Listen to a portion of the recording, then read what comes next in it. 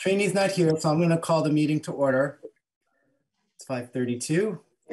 Meeting of the Energy Committee with the Select Board as a working meeting to uh, make some plans for town policy work going forward on this topic. Um, I think we need to start by having a motion to approve the agenda. So moved. Second, All in favor? Sounds like Pat got to it. Yeah, I got, I got the pad I have a little bit before you there, Tom. That's all right. And then I, I believe we would move on to public comment, which would be about items that are not on the agenda. Not really expecting much for that. And then we can move into our, our meeting. Am I missing anything, Trevor? You got it. You walked us into it. So we're, we'll stay out of open meeting law jail for the moment. All right.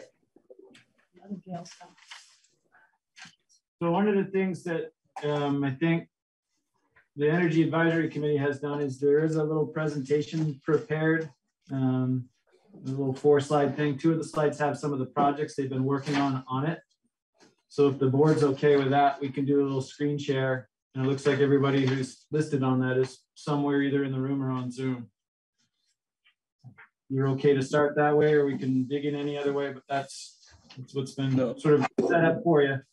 That, that, that sounds great unless there's some objection. Yeah, let's do it. All right, Kim's gonna do a screen share here and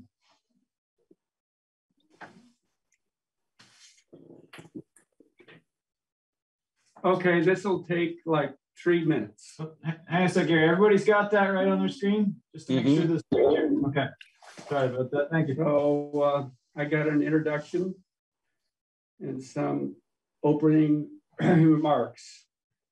Uh, The active members of the Energy Committee uh, are uh, Susan Mills, who had been on the Energy Committee for a decade like I have. And we've managed to work with our two young members, Jeff Grout and Mary Zaves, on five projects in the last 15 months, including one during the worst of COVID-19. And we uh, have uh, the advice, welcome advice of Pat French to direct us. Uh, the Energy Committee works on most projects with the R3 Energy Task Force, which came out of Randolph winning uh, the third climate model community in the state of Vermont. So we had the opportunity uh, to work with John Copans for a year. And out of that effort came the hotel possibility, the hiring of Josh Jerome. Sam Hooper's glove shop was being heated by coal. Now it's a net zero building with solar panels on it. Um, and as you correctly identified, we are an advisory committee, but we're known for being the econ, our energy, our uh, energy committee. Um, and we request that the select board, the chair, and Trevor work with us. The last time that the select board called in the energy committee was five years ago when Larry Richburg ran the energy committee. And we had Pete Thonen, uh, he, who was the expert uh, at that time. So we really, really want to work with you. We have a lot of strengths within our, with the energy committee. And uh, we're here tonight to start that process going. Um, we're also, as you well know, we're here as a result of, of coming to the select board in uh, at the last meeting. And if there's nothing else that I can communicate at this point in time the importance of the legislator in 2021, 20, I got that one wrong. I didn't fix it, Susan. 20, uh, passing the Global Solution Act, uh, requiring an action plan by December 1. And I've gone to a significant number of meetings, and it's the best run uh, planning process. They have five subcommittees working it. They get excellent advice from the Energy Action Network, VPIRG, and so on. And it's the future. If we're going to deal with global warming significantly, it's going to come out of that activity. You're at three minutes here, just so you know. Um, so what does the select board want communicated tonight? I know from Larry, because he put it out um, on, on, on the network recently, that he wanted to learn how we can be more, uh, save money on energy and get on the track of, get off the track of fossil fuels and more uh, electric vehicles. So at this point in time, I'm going to turn it over to Mary Ann Savitz. Okay, so um, so the next slide is is a projects list, and this is really just a brainstorming list. And what we're hoping to to get from the select board tonight is feedback on these ideas. Now, some of these projects are projects that have been worked on, and they'll be continued. Um, we'll continue to work on those. Some of them are new ideas, and so we'd love to have your feedback. And Um, we also um, we're, we're also wondering if there are other town committees that might be working on these projects. What you know the best way to coordinate with other committees if they if they are working on similar projects. Um, and thinking about funding and how we co coordinate with the town um, in terms of funding and that sort of thing. So if you look at them, um, they're basically in, uh, under two categories. And the first is reducing fossil fuel in the building sector. Sorry, Question? Is it- is there a question? Yeah, I don't see any images. All I see is the file. I don't see anything open. I don't know if anybody else is having the same problem. but- It's just, it's just a projects list. You don't see the list. No, I don't see the list. We're only seeing something that says select communications, number two. An REC Project Brainstorm 2021. They look like they're files that need to be opened. Yeah, it's, I get lost the screen share, maybe just showing the folder. Yeah. You see Yeah. two files, the folder, Should yeah, I I think it lost the screen screen share share. and start it over? I don't know, we can try to screen share it real quick, and if not, if you've got a printout, it might just be working I'll through just the start list. it again and see if it works. If it doesn't work. Oh, okay. Let's see, maybe. Um. Can you see it now? There you go. that's better. I don't Yep. know what. but- All right, good. Probably Yeah, Thanks for telling us. Talking about. Um, okay, so this is the, uh, the a brainstormed projects list um, that we would love your feedback on. And we basically broke it up into two very broad um, uh, segments. And the first is reducing fossil fuel use in the building sector, increase therm increasing thermal efficiency. Um, and underneath that, we have weatherization. And as I'm sure you know, um, the committee has done weatherization work with Capstone, Vital Communities, and other partners. And Susan and Gary could speak to that in terms of the history of our weatherization work. Since I'm new, I'm new as of August, so. Um, and we think that there is probably some ARPA funding for that. So that's actually a question maybe for the select board in terms of whether or not there is ARPA funding. And then just a little piece of data um, that I got from the Energy Action Network website, the number of buildings in Randolph that are completely weatherized are 400. So I don't know how people want to do this. If you want to just look at it, um, I mean, I'm just sort of reading things. Um, the Window Dressers Project Um, that's a project again that is in, in progress. And Gary is probably the best person to talk about that. That's basically building window inserts.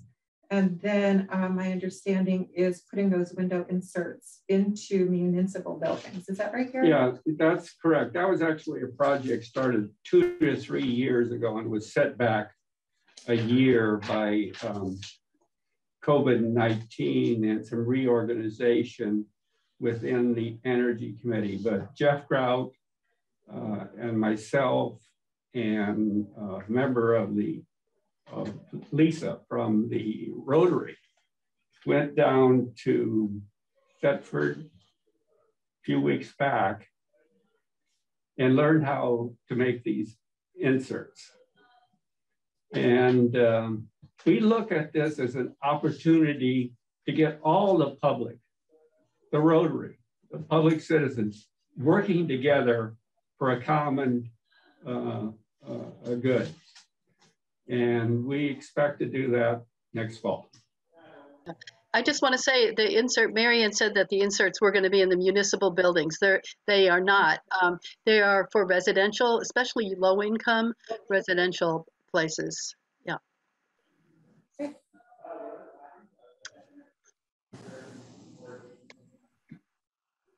Okay, and the next, um, the next idea is to work on a community project potentially. And one idea is to partner with Norwich Solar. Um, apparently there are two, and, and actually Brendan Malley is here from Norwich Solar, and, and he could answer questions about um, two projects that are um, on the Davis Road. One, or, or, I guess one is on the Davis Road, one is near the Davis Road. Is that right? On 14. Yeah, one is permitted and one is in the process of being permitted. Um, and they're interested in partner, partnering with potentially schools or maybe municipal buildings. If he can answer any questions that um, folks might have about that. Um, the other thought is to, to work on heat pumps and increasing the number of heat pumps installed in Randolph. Um, currently, again, according to the, to the data, um, there are 83. That might be something we can work on with Efficiency Vermont. So I don't know if we want to do questions like uh, uh, under this first section or what people want to do. Anybody can chime in. Some questions. So some of my concerns here, okay, would be, you know, maybe this is where you can use the ARPA funds, but you know, we have a lot of municipal buildings right now that I think could benefit from weatherization and also changeovers from the fuels they're using. And I know, for example, you know, Chandler's going to need a new boiler or going to need some significant boiler work, and that's one of our biggest energy users. So those are the kind of things I'd love to see work on is how do we get some of these municipal buildings into the carbon neutral zone here? Yeah, and one thing we could start with possibly is a, a list of the municipal buildings that would could be considered. And think- Chandler one, um, the town offices is another. I don't know how modern, but um, the heating and air conditioner or heating, the HVAC system is here, but um, that might be a starting point where we could actually um, list all the specific buildings and see if there are improvements in each building. Well, I think when you look at what the consumption is, things like Randolph Center Garage, the Village Garage, Chandler, okay, just to start off with those, Kimball's probably not that well insulated, I'm not sure. But if you start looking at the cost of what is what we're spending on heat to take care of those buildings, and now that probably fuel costs are going to go up for us, um, I think that would be a really good place for this committee to spend some time on. Yeah, the, the R3 committee went through, uh, got a list of all the all the municipal buildings, and they were pretty pitiful as far as their energy use uh, went. Um, never been any any real uh, weatherization or efforts to look at things like motors or lighting or any of those things. So there's a lot that can be done in municipal buildings. Just needs some somebody to pay attention. You know, what- and That's where a committee needs to be working on this because that's just, somebody's got to take the lead on those properties. And, you know, certainly we can find out what the numbers are, but I think you'll look and see how much money we're spending on, on heat alone for those five or six facilities. You're going to be quite shocked when you see what the numbers are. Uh, J- John Lutz looked into that three or four years ago, and we have some data on that. But we uh, there's also data uh, on on the energy dashboard that we can pull in, and we will gladly take that as a task. Yeah, I think one thing we could offer also is um, tracking that, not just inventorying it once, but, you know, regular reporting of the energy use at the key buildings, and that might be something our committee could help with. Well, the reason Is- I'm bringing it up, the reason I'm bringing this up is because you're exactly right. We talked about it in R three. When I was on the budget committee, probably seven or eight years ago, we talked about it, and here we are still going nowheres, in my opinion. Need the baseline. Let's get on it.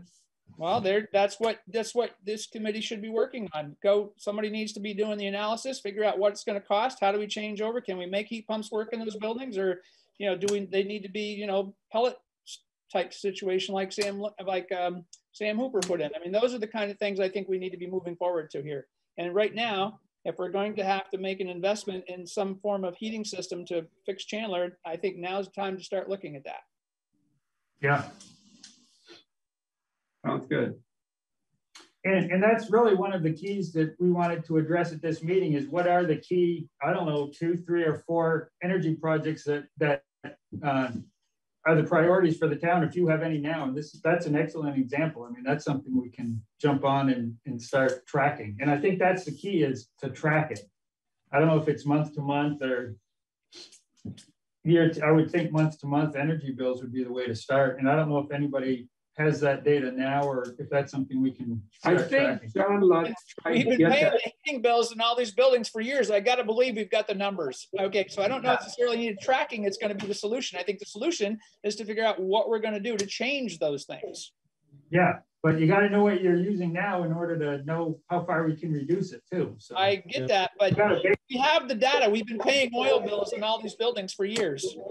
I think uh, having the data and, and that sort of thing, having the list is great, but we have always run up against, um, you know, inertia at the town level as far as doing anything about energy in these buildings. So I, I think what we, what we really need is, is to have some kind of uh, effort to, to designate someone to be responsible for getting the energy uh, conservation measures put in somebody who's who's actually able to to take responsibility for that. I mean, it sounds to me like we need some sort of an overall energy audit, you know, just like what people do for their homes. It seems like we need something like that town-wide for the, for the municipal buildings, where then someone can come back to us and they can say, here are all the places you can improve. And this kind of improvement will cost you this much money and the solu, and the solution will save you this much money. And so we can start down, work our way down the list, starting with the lowest hanging fruit and the stuff which is gonna have the biggest bang for our buck. And then, you know, kind of just tick them off as, as, as we have the funds to invest in these improvements. Well, Efficiency Vermont does that very job and we can easily bring them into the equation. That'd be great. The town has to have the will to pursue them. And I'm hoping that that this activity is going to help that. That is this meeting, um, this discussion. Yeah, yeah, no, I agree. And I, I would really like to see that happen. I would like, I'd like to see us, you know, have this sort of a list in front of us and then we can say to ourselves, well, you know, when we budget for the year, we can say how much money are we willing to budget for, you know, energy improvements in the next year? And then go down our list and say, okay, well, we can afford this one, this one, and this one. The Next one will be next year, you know, some, you know, we- you know, I don't know exactly what those will be, but to engage in that kind of a process where we can prioritize. So Trevor, do those ARPA funds qualify for any of this kind of stuff? I think there's the potential for maybe some of the programmatic elements that we've talked about, um, such as the weatherization, and that's an idea that, that Trini had submitted separately too. Um, there might be some programmatic dollars infrastructure-based dollars, I think we'd have to dig into a little bit. It's one of the things that the ARPA subcommittee could identify. And that would be how one other subcommittee that's in play then ties into these larger efforts um, related to energy, because that's that's the group that's going to dig into what's allowed and how. But I, I do think, if I remember right, I saw that there might be some programmatic capabilities there um, to, to take advantage of. Well, if we can leverage some of that stuff to get started, I think that would be beneficial. And we and we can pull usage data from those energy bills, and those are just upstairs. Who would who would do that? Um, we'd have to coordinate access through the manager's office. It might be, given our current shorthanded status, it might have we might have to see who who do that. You You'll check into that. You have to pull each individual bill and then compile them, and based on what's kept Mm-hmm. upstairs. And we can maybe reach out to the separate providers and see in a given year what the usage was and shortcut some of the the grunt work. So you'll initiate that. if that's what comes out of tonight, we can we can initiate that. Yeah.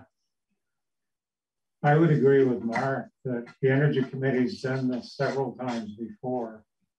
And then whatever's recommended doesn't get carried forward. So it's very important that the town is committed, I think, to energy efficiency and meeting the standards that the state is setting. One of the conclusions I've come to is that I think we need a staff person, or we're going to need a staff person if we're going to, within the next five or 10 years, make anywhere near the progress that we're supposed to be making. To organize and help push that through. Are you, you thinking a sustainability coordinator model like some other communities have added or a energy coordinator? I'm thinking Hartford added one, I think. Um, Somebody that. I'm has the blanking on somebody else. Yeah.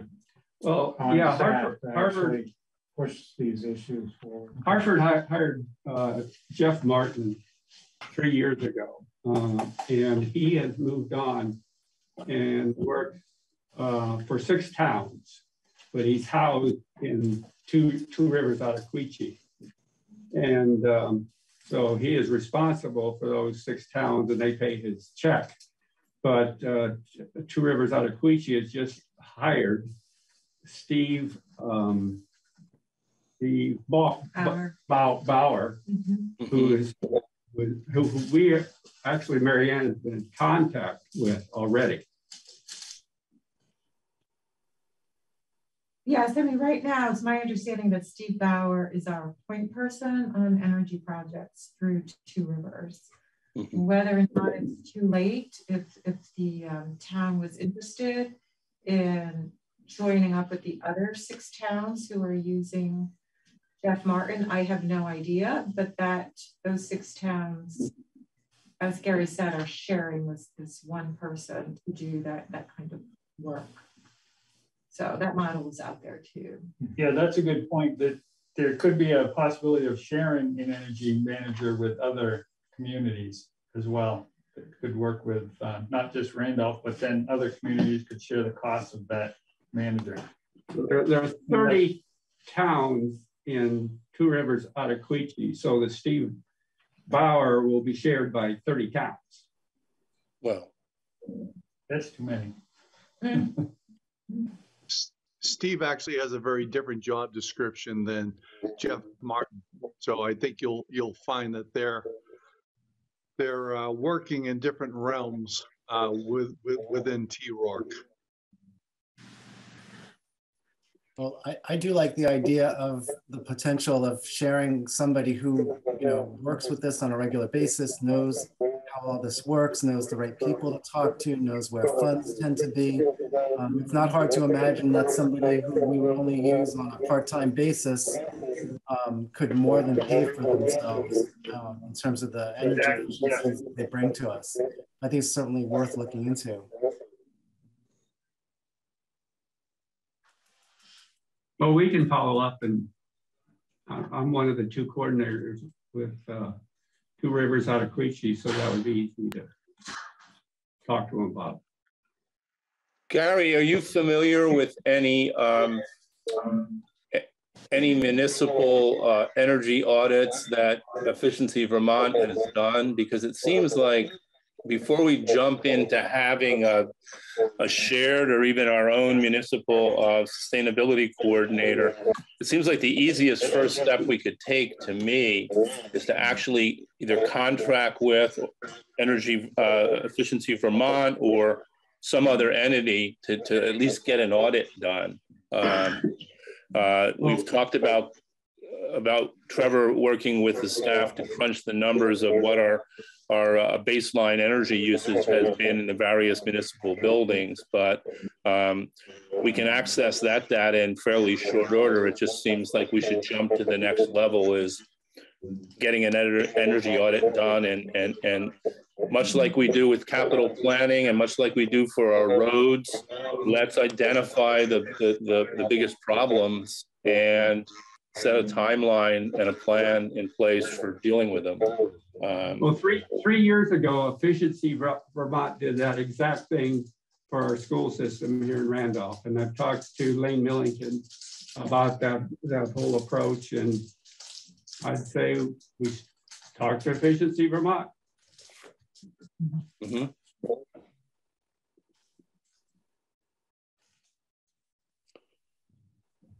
I'm still con concerned about follow um, and I, I, I would like to see if we can get the town or the town government to endorse the idea of, of pursuing these uh, these energy efficiency measures once we once we identify the, the right ones to, to do first. This is stuff that, that has been around for a long time. It's been it's been obvious in, in a number of uh, buildings that uh, huge amounts of, of dollars would be saved by you know doing the weatherization or changing the, the energy efficiency of the building. So uh, we we need to get over this this little uh, little problem we have which is that it's you know it's kind of not my problem uh, and get the town to endorse the, the very idea of, of doing energy efficiency in its own buildings. Well, there are people who are capable of making that calculation. We did it several years ago with a weatherization program, and it was with homeowners and this organization. I can't remember what it says, and they have to come up, you know, with their energy bills, and their electrical bills, and all those things. And then they said, we recommend you do this, this, and this, and it will cost this much, and we can get you a low cost loan, and you will save this much in the future. Mm -hmm. That skill is available. Yeah, I I I would second your thoughts, Mark. That uh, get get it, getting a commitment from the town in the form of somebody actually responsible for or following through with these actions rather than relying on um, the energy committee to try to navigate all of this on their own. Um, I, I, I, think that's very important. Yeah, and I, I also agree with that. And, and I'm, I'm kind of um, asked Trevor to chime in here and sort of give us a better sense of, you know, if, if we really want to make this something that our town is going to move forward on, it does seem like it makes sense there to be, you know, you know, some sort of, you know, staff member that makes sure that it keeps going, you know, that having the, the, the volunteers of the energy committee where there's turnover, you know, it's, it, and we're talking about a multi-year project um, that can provide continuity and, and focus, you know, what would be the best way for our municipal government to make sure that things don't get dropped along the way, that we do keep focused on this and make the, you know, the investments that we really ought to be making. I mean, there's two pieces to it. One is the, the actual project planning and identify, define which projects in which order and what the cost is. And then committing as a community as a whole, this is where it doesn't just fall back on the town, but it also falls back on the voters as well. If there are resources needed to get these things done, the resources need to be there from a staff perspective, it would be um, it would be one of a number of areas of need where we could use a body to help us do either things we want to commit to or that we've already committed to.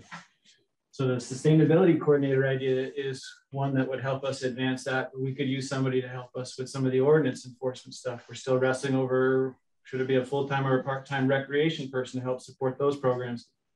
So we're talking about staffing. I want to make sure we're moving that holistically as well as a conversation. So I think it's got to tie into some of those larger budget elements. It really comes down to getting these things done is about resources, both financial mm-hmm. and and and the people. And if we have both of those, we can get it done. I think I don't I don't see that being the problem. The challenge would be if we don't have the the financial resources to do it, and we're asked to do it with fewer people. That's going to be a really heavy lift. Mm-hmm. We're trying to lift a lot of other things right now too.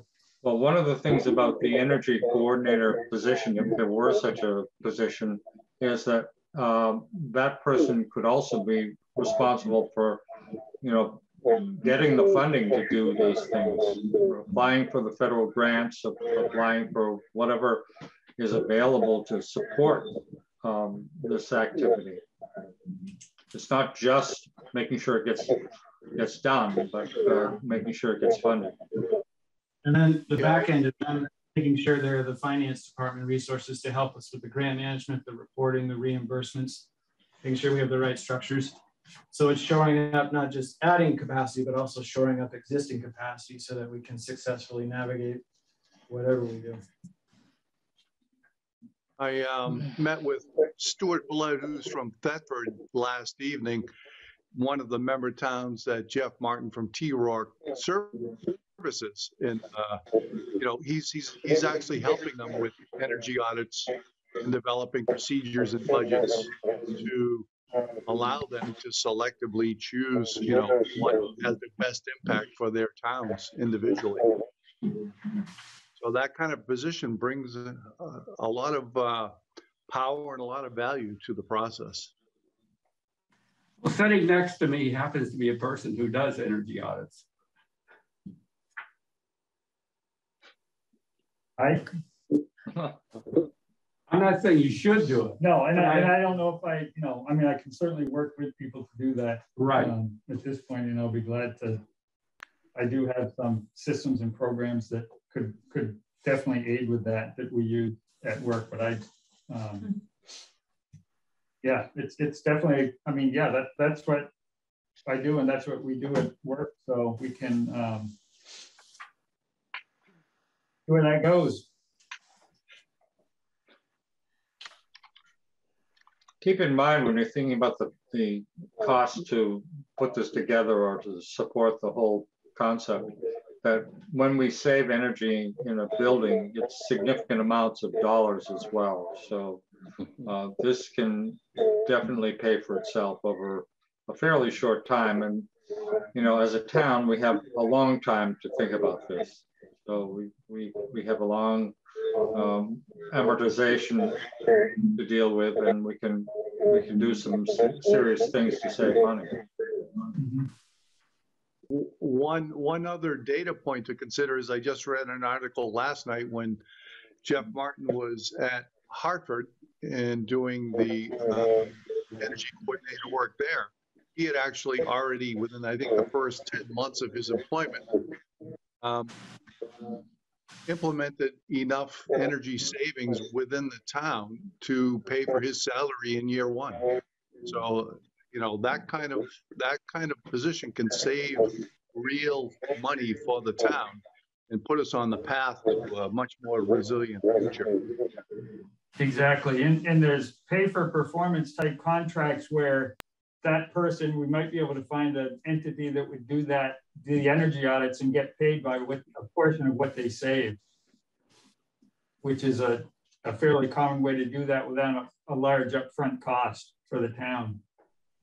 But, you know, there's options for payment structures, but yeah, I mean, if we're not really paying attention to that and not really tracking it, um, the rule of thumb is probably 10 to 20% of your energy spend is, is going to be very low hanging fruit and very quickly um, rectified. So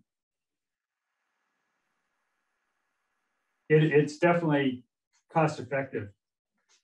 And it'd be very surprising if it wasn't. And typically for the town, I'd say, you know, it's the fuel for the buildings. And number two is prob maybe number one, I don't know, is the vehicles, is the fleet cost for fuel. And we haven't even started talking about electrification of the vehicles yet, so.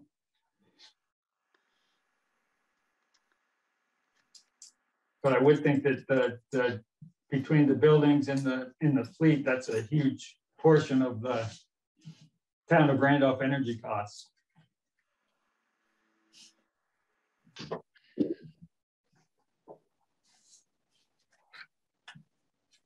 Well, coming up for, with money to pay for, for staff is always uh, a big hurdle. So if it's possible for us to have people start with the promise of getting paid with what they save us, uh, that sounds like something that would be hard to refuse. Yeah, well. love, we really love to learn more about that. Okay.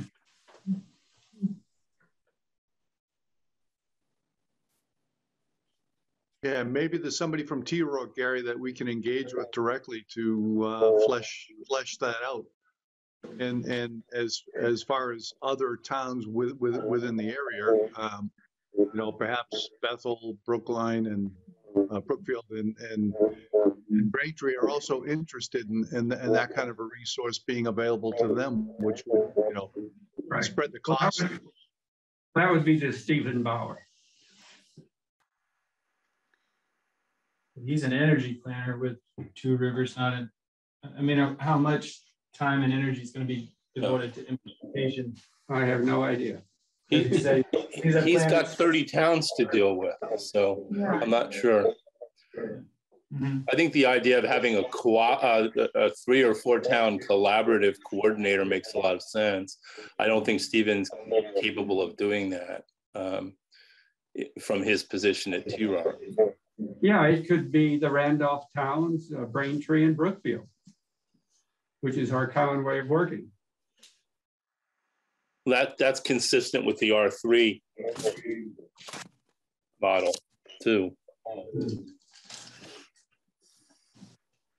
So if I'm understanding, we're talking about two different things or two two things together. One is helping the town of Randolph save energy, save money, and also helping the people in the town.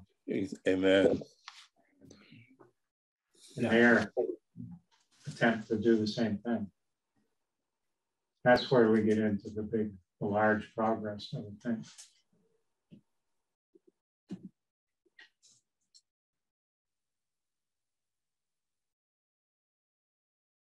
So are there specific actions that we can take and then report back to the select board at our next meeting to keep this alive?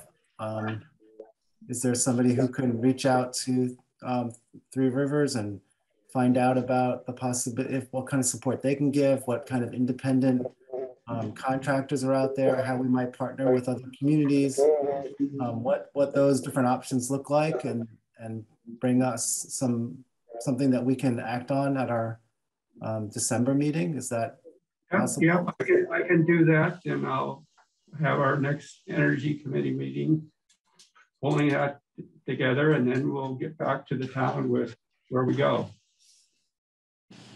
If, if we're going to give consideration to an energy, energy coordinator uh, position, it seems like the next couple of months is the time to do it and to do it in collaboration with Braintree and Brookfield's select boards so that um, you know this can be something that can be discussed at town meeting um, because it is going to be a significant commitment if we do it collaboratively, even on, on the part of each of the three towns. Um, I'm comfortable with moving that process along and, and, and think we should try and expedite it. Well, as you know, the town meeting is March, so we got what four or five months here to. Yeah. But, but my, my point is we're in the budget, we're going into the budgeting cycle right now. So if money is going to be set aside, um, you know, we'll, we'll be working on, on budget and on capital budgeting over the next couple of months, and that'll be presented at town meeting. This is the time to give this some serious thought. Uh, we, we have been advised to do that because of the bus budgeting by, by a, a member of the select board in, in Bethel who is doing the very same thing now. Mm -hmm. So we can get him involved as well. In what capacity, Gary? Uh, he's a member of the select board. I, I know, but in what capacity does the member of the select board in Bethel play into the process here? Um, Well, if there's, there's a cooperation between three towns, why not cooperation between four? Right. Us, Beth, Bethel is keenly Sharing. interested, at least the select board member is. I think that's a great idea.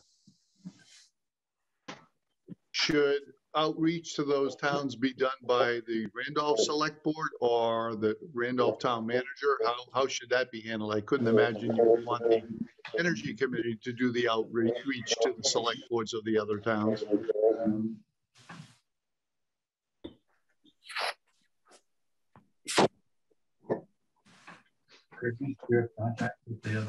Oh, I, I do, but, I and I can, but I, you know, I'd, I'd rather that the town manager do it, but if he doesn't want to do it, I can do it. No, it's not about, I think not it about makes law. sense. Yeah, I, I think it makes sense, Gary, for a town representative to do that kind of an outreach. If, if, if we're gonna possibly discuss sharing a resource, then that should be from a town official. Nice to have some meat on the bone before we approach them and with an idea though as well. Um, At, at the most basic level, I can make conceptual sort of introductions. Um, But at some point, there's gonna have to be a level of detail if we're gonna move into warn for town meeting. It's not the town meeting date, keep in mind, it's the end of January when that warning has to be set. So really what we're talking about is less than two and a half months to have something on a ballot or incorporated into a budget at a time where some of our finance resources are are a little bit under understaffed. So we're not just moving a ship, we're moving a fleet. and so I just would ask to keep that in mind. That's something Josh can help with. I've uh, placed Jeff Martin's email address into the chat. Um, I'm sure if somebody wants to do some outreach to him, then um, he'd be willing to provide more information about what he does specifically for those six towns.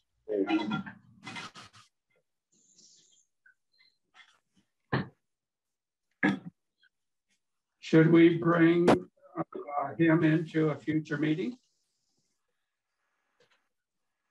Maybe we should meet with TRORC in a future meeting. In- Including uh, uh, Jeff Martin and, and, and I- uh, Bob. I have a pretty good relationship uh, through some of my other, my freelance writing pursuits and, and so on um, with Kevin Geiger, who's now the director of planning for TRORC. And um, I haven't met Stephen or Jeff, but I'm aware of their work to some degree. I'd be happy to at least reach out to uh, to them and learn more about what Jeff is doing for the six towns and get their counsel on this idea of having a multi-town shared um, energy coordinator um, and, and, and see if they can cite any other models in the region that we might look to. But um, I, I do agree with Trevor. We need to hang a little bit more meat on the bones of this idea before we can really move it forward. And I think TRORC could help us with that. So, Tom, I know I probably speak for everybody on, on this call that we would be grateful for, for that effort that, that you Yeah. make there. I think that would be extremely helpful. I, I'm talking to Kevin almost every week about, I've been writing a lot about housing issues, particularly in the Upper Valley, and Kevin's my go-to person on, on those issues. So um, I can start with a phone call to him, and, and I'm, I, I will bet he'll hand me off to back to Bauer or Martin, but at least we can get their perspective from a regional planning standpoint about how we might collectively move forward. So I'll offer to, I'll offer to do that and I can report back to both the energy committee and the select board over the course of the next week or two, just what I find out. Well, that, that'd be great because I, you know, other communities have done this. that We should be learning from their experience and not reinventing. So. I, I do know that um, Stephen Bauer is working with um, at least one community in the Woodstock area, which would be Woodstock, um, which is revising its town plan over the course of the next six months or so. They're hoping to present a revised town plan um, to the community in the early spring. And, and Stephen is working very closely with the Economic Development Committee uh, and Sustainable Woodstock on revising their energy plan, which hasn't been touched in years. Um, so there's an example of what he's doing. But yeah, I'll, I'll, I'll take that on for sure.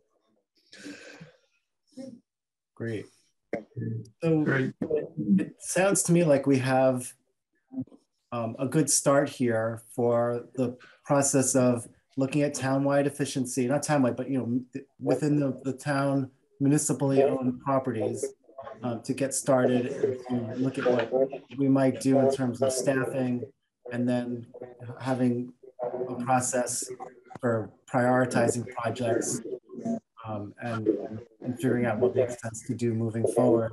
Mhm. Um, we also heard from folks to, tonight that there's um, some some solar power um, potential opportunities that we should be exploring, and I'd, I'd love to hear more about those. Mhm. Uh, If I could just add, Larry, and to pick up on something that, that Pat um, uh, uh, spoke to a little while ago. I know we don't want to get going in too many different directions at once, but we've spoken mostly about the municipal energy issues tonight and how we can address those inefficiencies. But let's not forget about what we can do for the general public too. And so I'm thinking, for example, I mean, I'm just brainstorming off the top of my head here, but if we get an energy coordinator in place, can we do an energy fair or some kind of public education program that that tells our people uh, who live in the community what is a heat pump? How do wood pellet furnaces work? What do they cost? What kind of rebates are available for them? I can tell you because I'm looking into it, seven thousand dollars right now from Efficiency Vermont. If you install a wood, uh, wood pellet. Committee and the Energy Task Force has done several of those over the, over the years. Right, right. And, and, Well, we can- and we could do another one. Yeah, yeah. I just, I don't, I don't want to see uh, residential. I mean, right now, we've, we've got to focus on the incredible energy drain we have dealing with our municipal buildings. But longer term, big picture, let's, let's, you know, let's keep a focus on, on residential uh, energy improvements and energy usage too. Um, I don't want to see us bite off more than we can chew. We got to take things in, you know, reasonable steps, but Well, we've had three programs on weatherization over, I don't know, six or seven years. And compared to other times, we've done extremely well. But it's a drop in the bucket compared to the knee, a drop in the bucket. yeah, yeah. Um, and and all that stuff is really important. But what I what I really like about working on municipal projects and making that a, a more immediate um, priority is just that we have a lot of control over that. You know, we can Mhm. say, we're, going to do this, and we can educate folks out in the community. But um, it's it's hard to, you know, make folks you know, do stuff. Yeah, even absolutely. I, I hear you. I hear you. But that, but that's a role that the Energy Committee and Task Force can do, because we've done it before, we have these educational programs. Mhm. Yep. a lot easier to do that outreach, uh, Larry, when, when, when the, when, when the town itself is, is behind in implementing similar, um, improvements in their buildings as well. So Yeah, that. yeah, we that- can. That's a I, great I, yeah, no, I agree, and we can, you know, you know, publicize what we're doing at the town, you know, for our municipal buildings, and and use them as an example of what you know you can do. Exactly. That's terrific. You know, uh, hello everybody. My name's William here. Um, uh, I moved to town uh, about one year ago, so I don't quite know everybody yet. Um, and as a new homeowner, I'm kind of looking into getting some, you know, energy improvements on my house. And the biggest hurdle for me has not been information, but about who I can actually talk to to get quotes and actually get somebody here to tell me, here's how much money I can save. And so having a better list of those resources would actually have been much more valuable for me as, as somebody newer to town. Well, William, uh, call up Efficiency Vermont and they will provide the, the uh, of people to do the work who they have approved, they have an approved Mhm. list of Exactly. Yeah, absolutely. I, I, I've looked through that list, and kind of the problem I've been running into is everybody I've called uh, doesn't work in Randolph or is booked solid.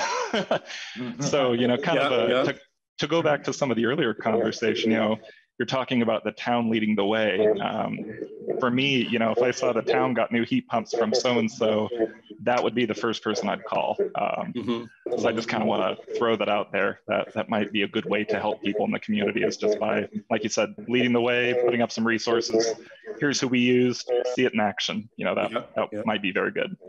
Well, we, Gary, I was I was looking at that very list that you're referencing uh, yesterday uh, with respect to uh, wood pellet boilers, and um, the two nearest contractors to Randolph are in Montpelier and Barre, and the next nearest one's in Bristol. Um, I didn't call them to find out what their um, workload is right like now, uh, uh, like right now. But if they're like any other plumber, electrical contractor, or builder in the state of Vermont right now, you know, uh, they're inundated with work.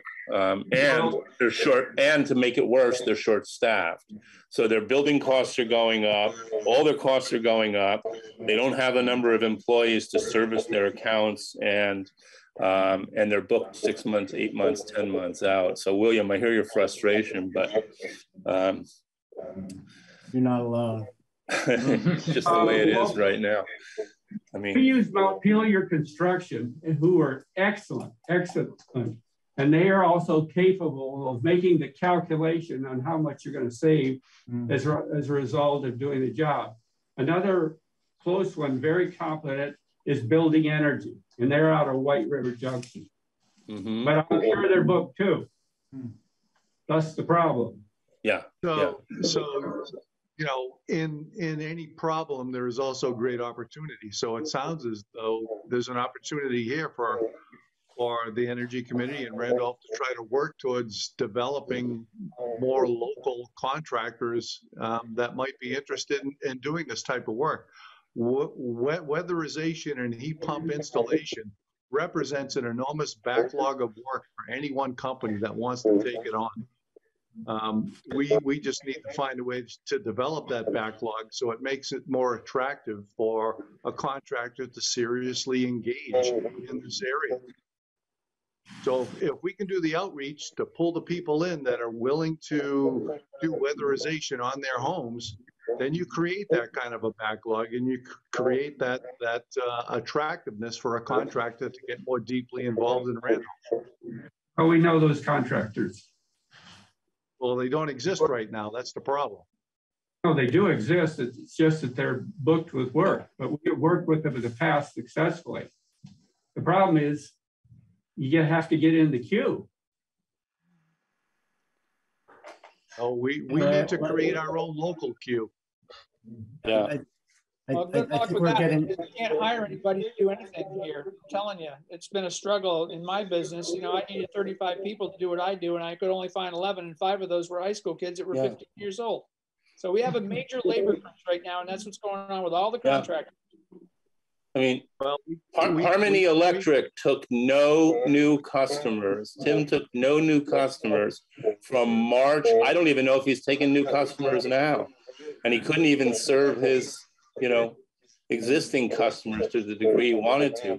I had to do backflips to find somebody to install an EV charger in my garage. Uh, it, it's crazy right now. Yeah, I'd like to, I'd like to jump in here and, and, and- and say that I think we're getting a little off our topic. and Yeah, we are. We Just to bring us sort of back to focus and, um, I, I think we've made some good progress and, and I just, um, it's six thirty now. We've been, we've been here for an hour. I, I think I would, we have someone I, I, I'm pretty sure who was here to speak about solar power and some opportunities for the town and I thought we might be able to give that person a chance to talk before we look at wrapping up our time together. Larry, I just have one other question. This reference to the six town project that Stephen Bauer is working on. Who knows a little bit more about that? I don't want to call him cold and not know anything about it. What, what? Call Jeff Martin. What is he doing? Jeff Martin? Okay, Yeah, I believe it's Jeff Martin who, who, who you want to contact, Tom. Okay. Yeah, So it's, it's not Steve Stephen. Bauer, Steve Bauer also works for TRORC, but he, he's the one who works with the 30 towns. Jeff Martin works with the six, um, Jeff Martin works with the six towns. Okay, Bauer works with the 30 towns. all right, got it. Yeah. So Je- Jeff has a much more discreet portfolio, if you will. Yeah, okay. All right, well, I'll get, I'll get on those calls right away. Yeah, Steve Bauer though is, is the contact person for Randolph in terms of energy issues, because I Yeah. spoke with him Yeah. a couple days ago. So if you can't reach Jeff, you can, you can reach Stephen. Yeah, yeah. And so the person that's here from Norwich Solar is Brendan Malley. Um, and he can, he can explain the two projects that are, um, in, one is, one has been permitted, permitted and one is in the process of being permitted in Randolph.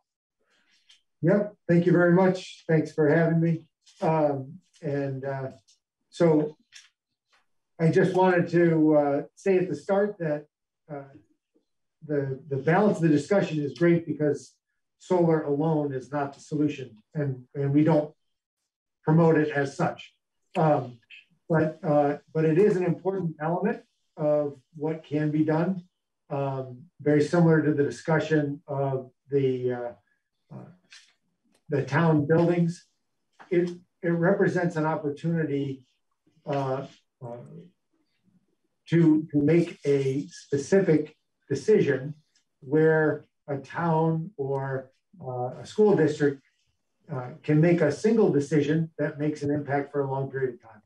So um, the, the basic idea is that uh, community solar in the state of Vermont is designed so that um, as many people uh, as possible can participate in it. And so uh, the way it works is that, uh, that we create local solar arrays and, uh, and we partner um, with entities, towns, schools, businesses, individuals who uh, might not be in a position to make that long-term financial investment, but they can make a decision with the energy dollars they already spend. And the, and the majority of those energy dollars get funneled through our utility and out to kind of buy energy that gets imported uh, into our state. Our state produces the lowest amount of uh, lowest amount of in-state generation of any state in the country. Um, and so uh, what we have here in Randolph right now um, are currently two Vermont 500 kilowatt community solar arrays. One is in permitting. Uh, we discussed that earlier this year. It's the Davis Road project. And the other has an issued permit, which is uh, at, on the Gifford Farm. And, um, and those projects are uh, seeking those community partners who, uh, who have uh, bills that they pay for the utility and uh, would like to uh, use that uh, and, and, connect with solar and make the um, local generation of renewable energy possible.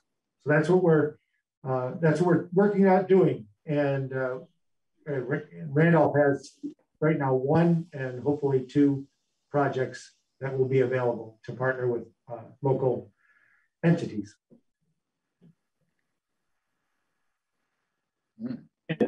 How does the money, or how does the, do they buy shares in the project? Is that how the, and then get credit for the solar generator of a certain portion of the array?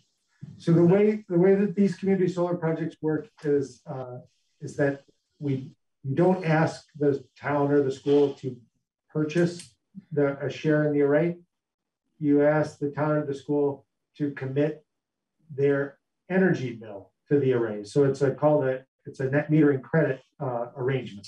So what happens is that if the the town or the school or other entity uh, agrees to be served with credits from the array, um, they get those credits at a discount. So there are some uh, energy savings that are uh, not enormous, but make a big difference over time um, with no upfront investment. And, uh, and so making that commitment uh, takes what you would spend on your monthly electric bill uh, like I said, which typically just gets shipped out of, out of state for imported power mm-hmm. and uses that those resources um, to um, allow the uh, the building of local renewables. Um, and the local renewables um, help us meet our in-state uh, renewable goals. It's uh, it is complicated. It's important to mention that it's that it can be complicated because the the renewable energy credits typically go from the project to the utility, Green Mountain Power, because the utility has a regulated entity, has what they call tier two requirements. So they have to uh, meet these requirements for in-state generation. So the RECs, the renewable energy credits, stay in the state and they get retired here. Um, so uh, it's really a partnership model. Uh, as opposed to asking any one entity to do everything, which is find a place to build it, pay the money to build it, and have all the benefits.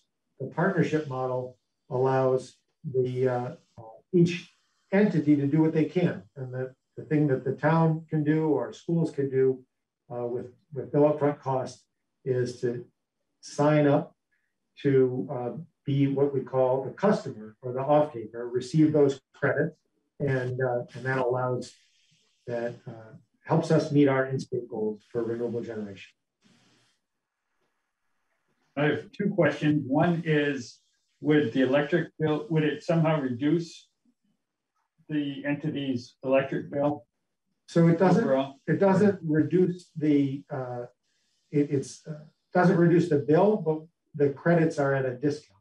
So um, in a, the simplest fashion, the solar array produces $100 worth of credits, mm-hmm. and, and the, uh, the partner um, customer would pay, uh, say, $93 for the $100 worth of credits that they get. Mm-hmm. So it, it does provide energy savings upfront. And second question is, um, since these are in Randolph, would these count on our scorecard for solar generation in the town of Randolph? For the amount of solar generation? They do. So when towns have uh, goals for the amount of uh, uh, renewable energy that they uh, are able to uh, put together in their town, mm-hmm. these community solar arrays count for that. Hmm. Great. So, so I want to make sure I, under, I understand a little bit better how, how this works.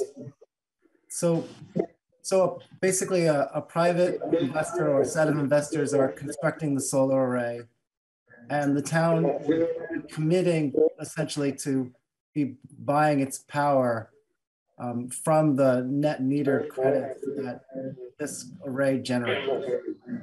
That's right. Uh, you know, the, the community solar model means that you're you're buying um, you're paying for the credits. So um, not the power itself, right? That's the, the value of this net metering program is that um, you might not be able to put your solar on, you know, on your parking lot or on your school or in the middle of the town. So the array is located, and we do all that work to find a good place for it. Um, and it produces that energy, um, and the credits show up on the bill of the town or school. And, uh, and the town or school makes that commitment to buy those credits at a discount. This is, this is a different approach than the, uh, than the community solar program we did here five, six years ago. Susan and I, uh, bought, I bought four shares and I don't know what it cost. Uh, and Susan did something similar. And that, but that's a, that's a private one Right, And you had to pay for it. and I had to pay for it. right? In this case, um, just as an example, just as an example, um, if you had a, uh, a town building that had a thousand dollars a month of an electric bill, and that town building, uh, signed a, uh, a solar net metering credit agreement with, uh, a- an array here in town, the goal would be to have approximately a thousand dollars a month of, uh, uh, net metering credits show up on the bill. And, uh, and they would offset the monies owed to, uh, GMP. And in turn, uh, you would, uh, owe the array owner, um, those, for those credits at a discount. So say, you know, nine hundred and thirty dollars instead of a thousand dollars. How would we be ensuring that GMP isn't purchasing fossil fuel generator power with those RECs? So the way the uh, RECs are treated is that the uh, the array uh, by its CPG, its certificate of public good uh, from the state of Vermont, and its um, uh, GIA, its generator interconnection agreement with GMP. Um, those RECs uh, are produced by the array. They are they go to GMP and GMP uses them to meet their tier two in-state uh, uh, requirement for renewable energy generation. So Pat, Pat's been trying to jump in for a little while here. I, I just wanted to cut in on his behalf. Sure. Sorry. Hi, Brandon. Um, am I correct in thinking that Norwich Solar is working with RACDC? Yeah, so RACDC has signed uh, a, a solar net metering credit agreement um, for some of its building uh, with Norwich Technologies and is served by uh, solar here in Vermont. So there would be a customer that we could talk with. They're a customer you can talk with. Exactly.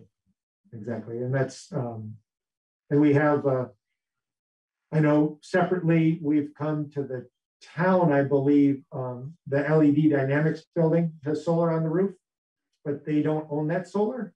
But, uh, so they have a net metering credit agreement. Uh, so they get the credits produced by the solar at a discount. And that's one way to, uh, to have have that solar uh, renewable energy generation be here without asking LED Dynamics to um, use some of their valuable resources to pay for it.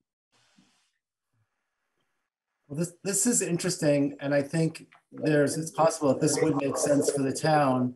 Uh, we, um, I think we heard, we've heard enough tonight to, at least in my mind, um, want to have you back at a select board meeting where we can put this under, you know, our agenda as a, you know, item that we're going to discuss and so that other folks can know that we're, we might be considering something like this. Would you be willing to come back at another select board meeting next month maybe, or in January? Of course, thank you for, happy to do it.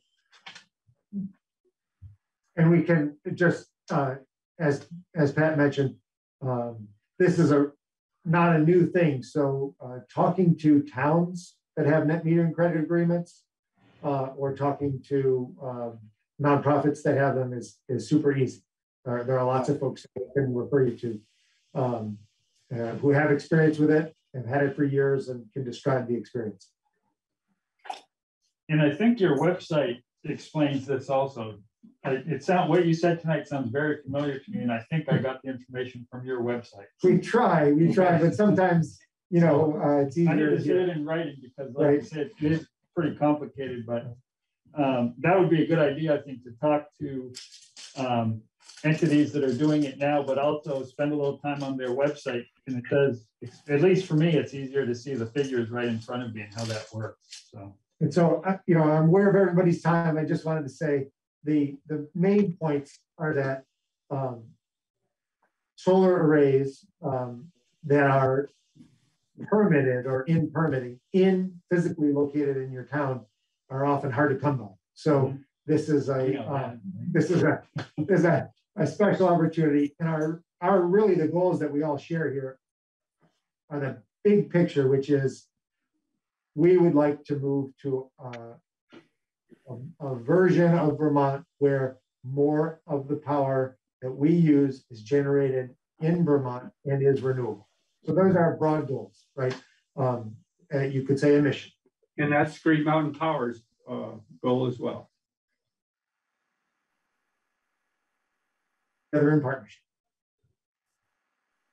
Okay, so it sounds like we have um, some clearer action items that we can move forward on as a result of our time together. I really appreciate everybody coming together so that we can do this. Um, is there anything else that folks are itching to get off their chest before we adjourn? Yeah, I just have a quick question. Um, I, I, missed the first part of this meeting and I haven't been to others in the past. Um, but uh, given the passage of the recent infrastructure bill, I know there's a lot of funding in there for uh, electric vehicle chargers. Um, and I'm kind of curious if the, the town uh, energy committee here has thought about uh, trying to take advantage of that as soon as possible, just as a way to kind of lay infrastructure for the future. Um, I know we'll, we'll want it in the future for when the fleet gets changed over, but you know, yeah. has that been discussed? We did that three years ago when the first offering came out, uh, and we spoke with the hospital. We so, spoke with the um, different hospital and, and Pat Moulton at the college and they applied for it. We couldn't get the town of Randolph to apply for it. And the other two uh, could have, were turned down, but if the town of Randolph had applied for it, they would have got it. I'll offer here, this is not solar related, but Norwich Technologies has uh, uh, participates in the EV marketplace. And we have a grant currently um, uh, to install DC fast chargers in six Vermont towns, uh, exactly for that purpose, which is, um, you know, if the chargers aren't there, uh, you know, folks uh, won't come to the town with their EV uh, cars, and uh, folks in the towns um, don't have the resources they need to buy EV cars. But if they are in the town, they bring people to the town. They do bring. So this yeah, is it's, it's right at the beginning. I, sh I should say this is the first um, uh, version of this grant. It was a grant um, that uh, we worked with the state on, and um, and it pays for the installation of what are called DC fast chargers. Is that level three? Level three chargers. Oh, wow. So they're expensive, right? Mm -hmm. This is uh, um, somewhere between uh, fifty and one hundred and fifty thousand dollars mm. uh, for an installation. So, it, uh, but it's a significant resource. It lets people, visitors, come to the town and charge their cars um, quickly. Like, so you can get about 75% of a charge in less than an hour. Are, are you implying this is something that Randolph could take advantage of soon? I'm not sure. So I, I have I, I've had other questions like this from other towns. So these six towns are the first ones, but it is uh, a promising avenue, and I, I hope there's more opportunity. And if I hear of it, I will certainly uh, bring it to my own town. SunCommon does the same thing as well, and they're just a little short drive north of us. So I'm yeah, I'm just really curious about the infrastructure bill because I know there's like 30 billion or something for DC fast chargers. So yeah, and the trick is always obviously what half that money has to take to end up in your town. Mm -hmm. So you know this grant is from money from uh, you know a year ago and so what we don't know yet is the path that money will take uh, between the federal legislation and Randolph. So I'm just curious here, Larry, didn't we have this conversation about locating electric chargers in the village? We already applied for that grant opportunity, I thought. No, it never happened. John Copan tried to make it happen, but it didn't happen. There is a level two charger being installed by um, the coffee shop. Yeah, I, I thought we'd already been moving down this path before. We got what was available to us at the time. No, we didn't. Uh, but Jerry Ward facilitated the one by the coffee shop. Okay. Right, Jerry? I know that we had these conversations at a select board meeting because we talked about the matching grant money. So I I know. know it never happened, never happened, and it doesn't exist, so it didn't happen. All right, well, that's where I thought, I, I, I know we have some of the parking ride up in the center, and so I'm not sure what, where that went, but Well, that, well, that's, they, they, well, are you talking about the one here, Randolph, or the one down in exit well, I know we talked about different locations around the town to locate these, and one of them was by the municipal offices, and we talked about. Oh, yeah. Yeah, So what happened there? Why, that, I'm not sure why. well, I'll, I'll, I'll give you the answer offline. All right, you The give. ball was dropped. The ball was dropped. Okay, The ball got dropped in the application process. all right. Okay, any, Well, let's not drop that ball again. any other questions or comments before we go? A quick comment. I think this has been a great meeting. I'm really hopeful after listening to uh, what everyone has had to say. I, I, I, I agree with you totally, John. I think, I think it's a new day here. Can we um, review action items or is somebody writing down the actual action items from the meeting? So we know who's gonna talk to who for energy auditing? Doesn't that go in your notes? We- Or could we maybe do just a real quick review of, Gary, you're gonna talk to Two Rivers about, was it Two Rivers that did the free energy audit for the municipal towns? Um, Efficiency Vermont. Efficiency Vermont. I'm gonna sorry. talk to Efficiency Vermont and, and, and, and Tom's gonna John. reach out to to- TR. To, to Two Rivers. Rock. Okay. Tom, Tom I think those are the only two. Somebody's got to pull the baseline data Oh, for energy usage. That'll probably be town staff. Town staff's gonna reach out on some of the coordinator models, both from a single town to a shared, maybe make some initial outreach to the extent we can with the information we've got. I think we need to dig into some of the weatherization um, type of models where we get to the part where we benefit the residents in addition to the town. There's a larger need for planning for these projects once they're identified, both the money and the timing. And then there was some talk about a resource listing and contacts, even if it's just connecting with Efficiency Vermont, making them more easily available to new residents like William or anybody else who's interested. Those were the five things that I wrote as takeaways from this at a minimum. Sounds good. Sounds good. And we're gonna hear more about community solar at a future meeting. Yeah. So I think that sounds great. Okay. I want to thank everybody for being here tonight. It was a fruitful discussion. And uh, have a wonderful Thanksgiving next week, all you all.